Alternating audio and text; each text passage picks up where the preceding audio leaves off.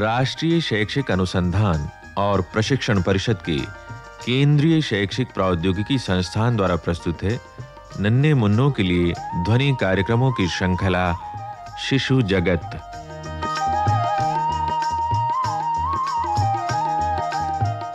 शिशु जगत में आज सुनते हैं कार्यक्रम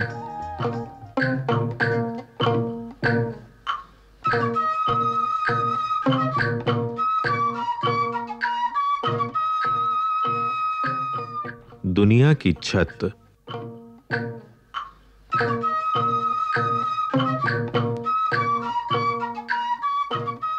किसी भी लोक कथा को समझने के लिए उस इलाके की जलवायु, रहन-सहन, खान-पान और संस्कृति को समझना उपयोगी होता है, जिस इलाके में वो लोक कथा सुनाई जाती है।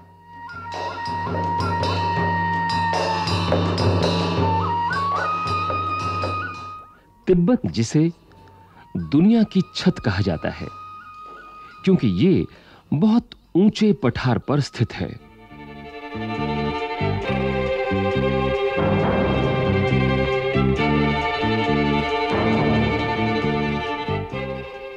पठार ज़मीन के ऐसे भाग को कहते हैं, जो मैदान से ऊँचा और पहाड़ से नीचा होता है।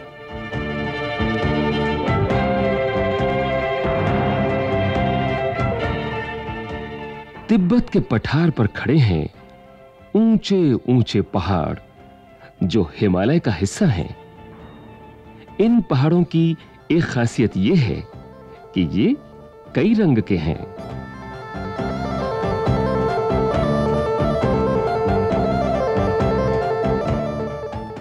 भूरे, लाल, पीले, बैंगनी, गुलाबी, गेरुआ और हरे। ठीक वैसे ही, जैसे छोटे बच्चे अपने चित्रों में मन चाहे रंग भर देते हैं। इन पथरीले पहाड़ों में तरह-तरह की मिट्टी और खनिज पदार्थ हैं। सूरज की बढ़ती और घटती किरणों के पड़ने से वे पहाड़ अनोखे रंगों में चमक उठते हैं।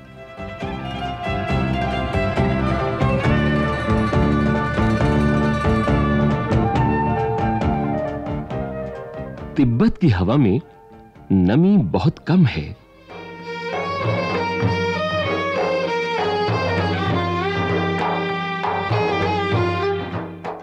इस वजह से यहाँ बरसात और बर्फबारी कम होती है। खुश्क मौसम में पेड़ पौधे बहुत नहीं होते हैं।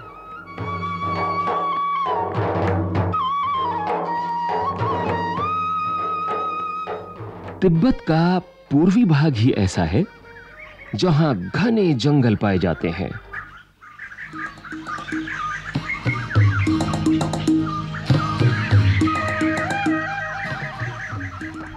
उन जंगलों में पेड़ पौधों पशु पक्षियों की दुर्लभ किस्में मिलती हैं।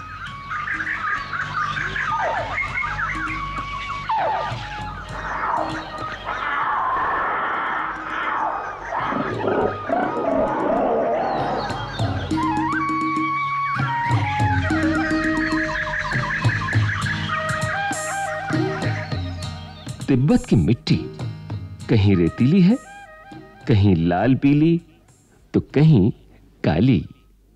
तिब्बत में लगभग 1500 झीलें हैं।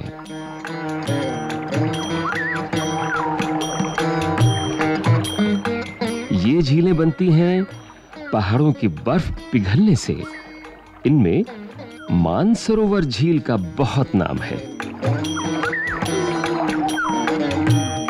यहीं से सांगपो, यानी ब्रह्मपुत्र नदी निकलती है।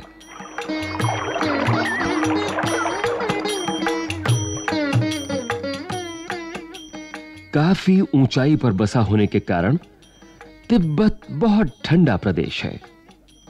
यहाँ की सर्दी का हाल मत पूछो।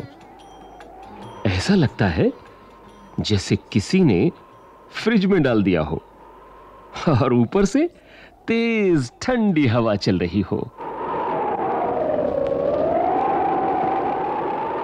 इसीलिए वहाँ के लोग हमेशा भारी भरकम गर्म कपड़े पहने रहते हैं।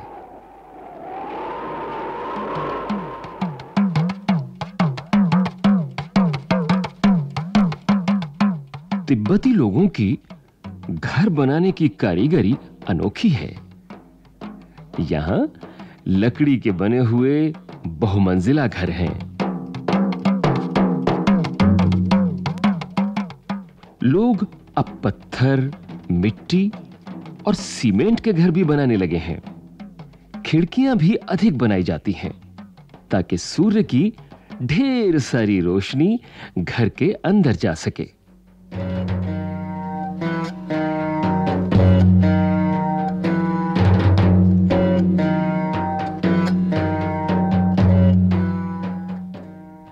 भूकंप से बचाव के लिए दीवारें अंदर की ओर थोड़ा झुकी होती हैं।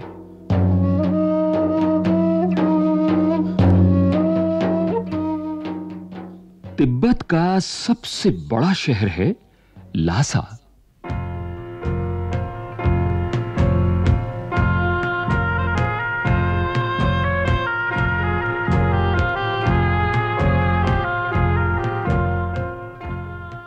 तीन हज़ार छह सौ पचास मीटर की ऊंचाई पर स्थित होने के कारण ये दुनिया का सबसे ऊंचाई का शहर माना जाता है।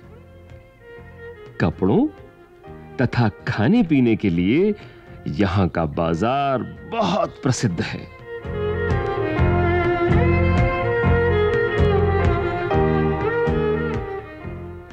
लासा को तिब्बतियों का दिल माना जाता है।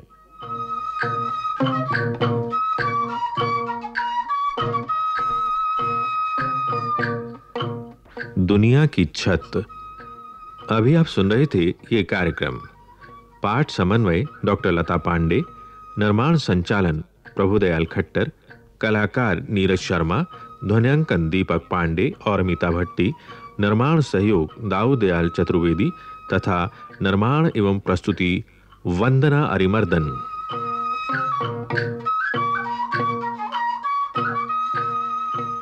अभी आप सुन रहे थे ये कार्यक्रम। लीजिए, अब सुनिए ये गीत, टेसू।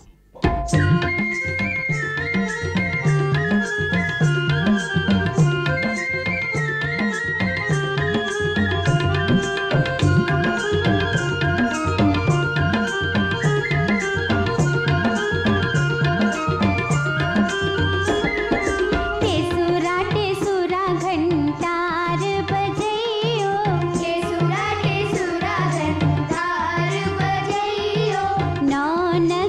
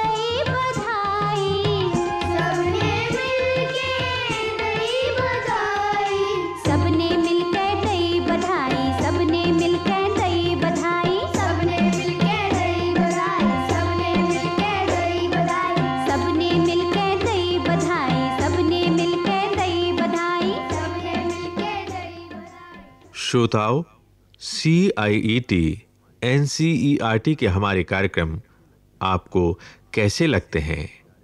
आप इन कार्यक्रमों में और क्या सुनना चाहते हैं? हमें लिखिए।